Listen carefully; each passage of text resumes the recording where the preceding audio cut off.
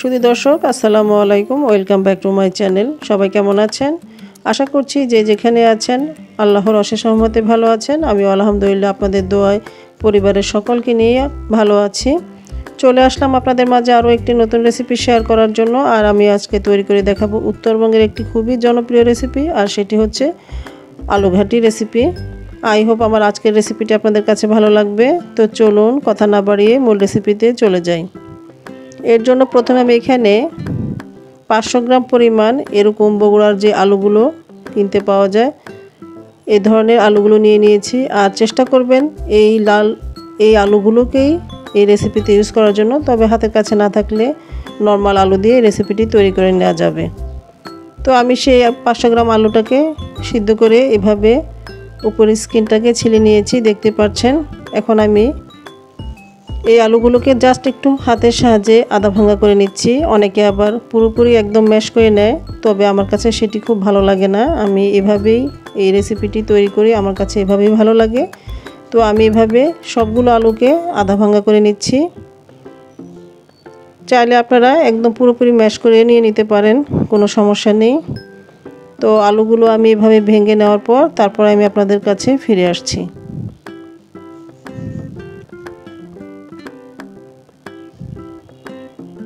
তো আমি সবগুলো আলু ভেঙে নিয়েছি, দেখতেই পাচ্ছেন এরকম করে আমি সবগুলো আলু আলু আধা ভাঙা করে নিয়েছি। চলে যাচ্ছি এখন আমি চুলায় রান্না করার জন্য। তো চুলায় আমি একটি হাঁড়ি বসিয়ে দিয়ে দিলাম আর দিয়ে দিলাম এক কাপ পরিমাণ সয়াবিন তেল। এই রান্নার ক্ষেত্রে তেলের পরিমাণটা একটু বেশিই লাগে। তো চেষ্টা করবেন ঠিক এরকম কোয়ান্টিটি হিসেবে তেলটাকে ইউজ করার জন্য। আমি দিয়ে দিলাম এখন এক চা চামচ পরিমাণ আস্ত জিরা। আর ছোট তিনটি তেজপাতা, দিয়ে দিচ্ছি চারটি শুকনো মরিচ। এখন আমি তেলের সাথে এটাকে একটু ভেজে নেব।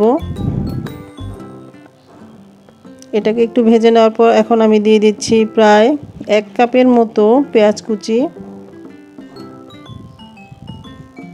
তো প্রথমে আমি এটাকে একটু ভেজে নিচ্ছি। এখন আমি এখানে এক কাপের মতো পেঁয়াজ কুচি দিয়ে দিচ্ছি। পেঁয়াজের পরিমাণটাও চেষ্টা করবেন একটু বেশি পরিমাণে দেওয়ার জন্য।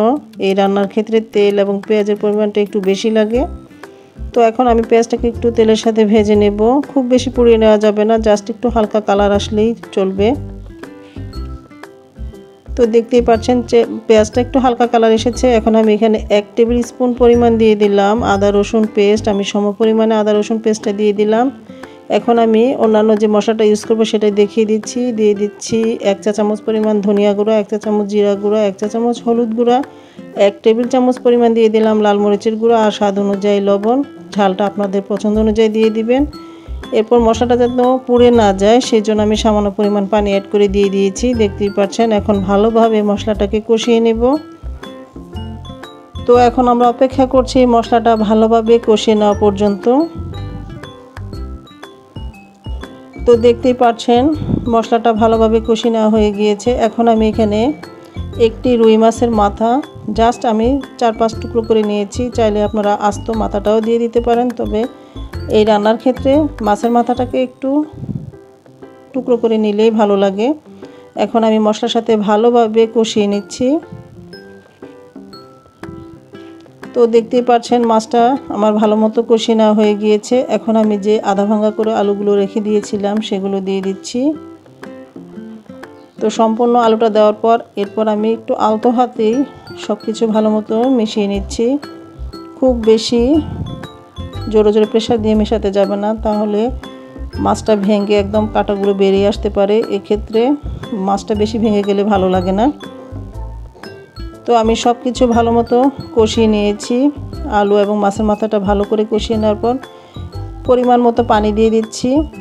দেখতেই পাচ্ছেন তো আমি যেহেতু এখানে এই রেসিপিতে একটু ঝোল ঝোল রাখব, তাই আমি একটু বেশি পরিমাণে পানি দিয়ে দিলাম। এরপর ঢেকে রেখে দিচ্ছি দশ মিনিটের জন্য। দশ মিনিট পর ফিরে আসলাম, দেখতেই পাচ্ছেন খুব সুন্দর একটা কালার এসেছে। এখন নেড়েচেড়ে নিয়ে আমি একটি মিডিয়াম সাইজের টমেটো কুচি দিয়ে দিচ্ছি। এরপর আমি সব কিছু ভালো মতো আবার মিশিয়ে নিচ্ছি। এখন আমি এটাকে ঢেকে রেখে দিব আরও দশ থেকে পনেরো মিনিটের জন্য। তো ফিরে আসলাম পনেরো মিনিট পর। এখন আবার সব কিছু ভালো মতো নেড়েচেড়ে মিশিয়ে নিচ্ছি। এরপর আমি এখানে দিয়ে দিব এক চা চামচ পরিমাণ টালা জিরার গুঁড়া। টালা জিরার গুঁড়াটা অবশ্যই দেওয়ার জন্য চেষ্টা করবেন। এতে খুব সুন্দর একটা ফ্লেভার আসবে, খেতেও বেশ ভালো লাগবে।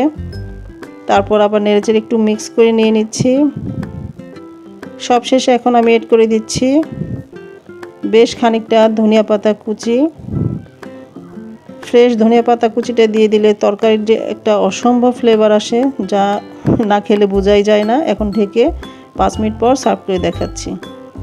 তো আমি এটাকে সার্ভ করে নিয়েছি, দেখতেই পারছেন কতটা লোভনীয় হয়েছে। দেখতে যতটা সুন্দর লাগছে, খেতেও মাসাল্লাহ অসাধারণ টেস্টি হয়েছে। বাসায় সবাই একবার করে হলেও ট্রাই করবেন, সবার কাছে খুবই ভালো লাগবে। তো ভালো লাগলে অবশ্যই একটি লাইক দিয়ে দিবেন আর ফ্রেন্ডস অ্যান্ড ফ্যামিলির সাথে শেয়ার করবেন। আর যেতে যেতে একটা কথাই বলব, যারা আমার চ্যানেলটিকে এখনও সাবস্ক্রাইব করেননি, তারা প্লিজ আমার চ্যানেলটিকে সাবস্ক্রাইব করে দিবেন। আর পাশে থাকা বেল বাটনটি প্রেস করে দিবেন। আজ এ পর্যন্ত